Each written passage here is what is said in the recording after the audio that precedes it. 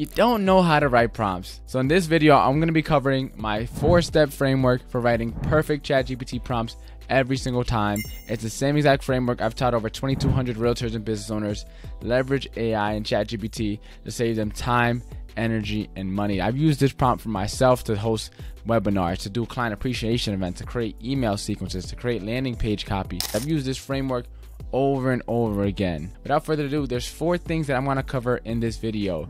The first is going to be what even is a prompt. The second is what is prompt engineering. Third is going to be my four-step framework called the RACE method. Once you learn this framework, I promise you, you'll never struggle using ChatGPT ever again. And if you stick around all the way to the end, I actually had a bonus tip for you guys, so make sure to watch the video all the way through. Without further ado, let's get right into secret number one. What is a prompt? Now, think of it like this. When you're at a restaurant and you put in an order, the order tells the chef what to make. And depending on what you order, determines what the chef makes. When you're using ChatGPT, a prompt is kind of like the same thing. So think of a prompt kind of like putting an order into ChatGPT. Now, secret number two what is prompt engineering? So, a lot of people, when they first start using AI tools like ChatGPT, they have no tech experience before, they have no AI experience, and they just get kind of thrown into the middle of the ocean. And now they have ChatGPT and like they don't know what to write, they don't know what to say, they don't know how to work it because ChatGPT has too many potential outcomes. It has too many use cases. It's like, what do you use it for?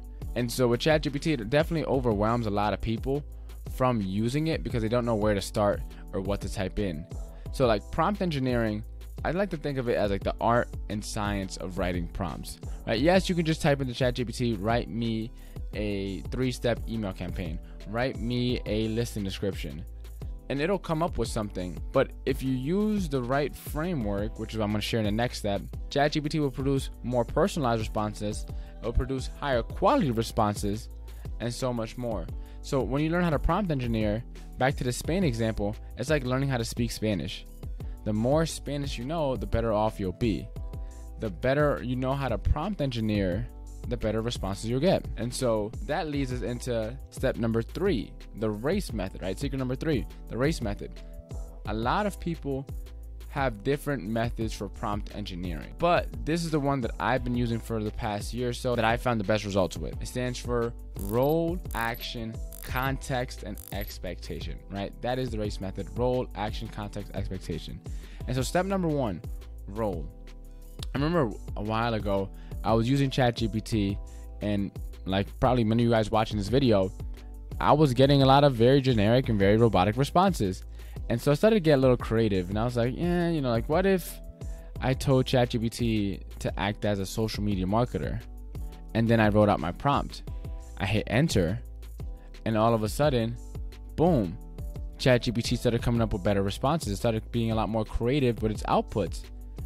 Then I started getting a little bit more creative. I started thinking about like who are my favorite marketers. So, um, act as you are, let's say Russell Brunson, and then ChatGPT started to give me responses as if it were Russell Brunson.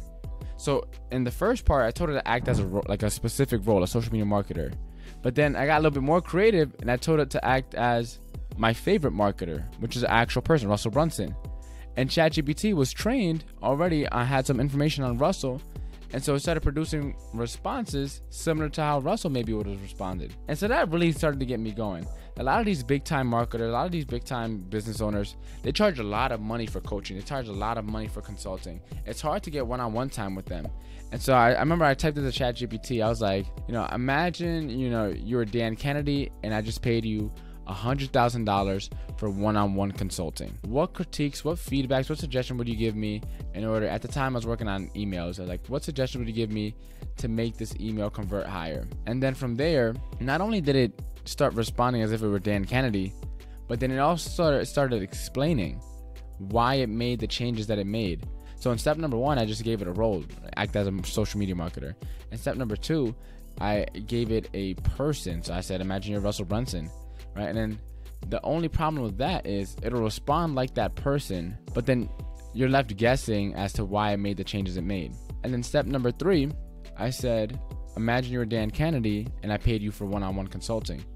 Right. Now I'm getting free coaching, and all I had to do was write in a role properly for ChatGPT. Like creativity goes a long way when you're writing prompt. Then that's just step number one, role. Step number two is action, right? Tell ChatGPT what it is that you want it to do. Be specific, be clear. This is not as complicated as the first step. In this part, you just want to tell ChatGPT what you want it to make. Is it an email? Is it a listing description? Is it a a mailer? Right. So step number one is the role. Step number two is the action. Step number three now is context. So I always say ChatGPT is trained on a trillion data points, but it's not trained on you. And so you have to give ChatGPT a little bit of details as to who you are, what you do, who you're looking to serve, so that it has context on how to respond. For example, if I said, What's the quickest way to make a thousand dollars, you may come up with a whole bunch of different business ideas for me to start. But what if I said, What's the quickest way to make a thousand dollars? I only have one day and it has to be ethical. Boom. Now your response is going to be a lot more specific, a lot more personalized versus what's the quickest way to make a thousand dollars. And the more context you can give it, the more personalized its response.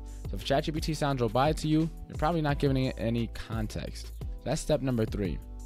And step number four is expectation. A lot of people think just because it's AI that it's going to automatically understand and interpret what they are saying in the way they want it to be interpreted.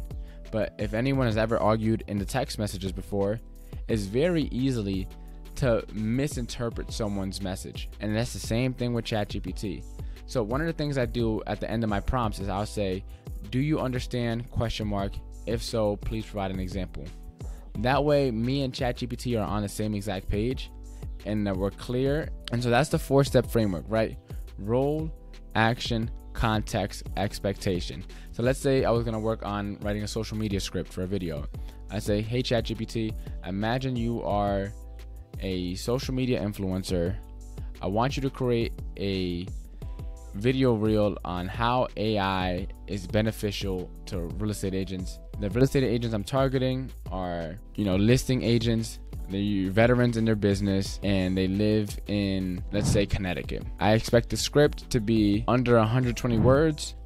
Make it casual and very conversational. Do you understand? If so, please provide an example. So, that is the four step framework, the race method, right? So, we talked about today what is a prompt, what is prompt engineering, the race method, and here's a bonus tip. If you want ChatGPT to become even more personalized, there's something called custom instructions where you can tell ChatGPT about who you are, what you do, and then from there, have it saved so each time you start a conversation, ChatGPT automatically knows who you are and what you do. Yo, if you like this, remember, and AI is super difficult for you and you're not tech savvy, just download my AI starter kit. It's 100% free. It's going to help you get my top 10 ChatGPT prompts as well as my top 5 AI tools that I currently use in my business to help you save time, energy, and money. That's going to be in the link in the description. And if you like this video, make sure to leave a like below. Comment like, are you currently using AI in your business? Let me know. I would love to hear how you guys are using AI in your business. And that is all for this video. In the next one, I'm gonna be covering how to make your ChatGPT the world's greatest personal assistant. Stay tuned.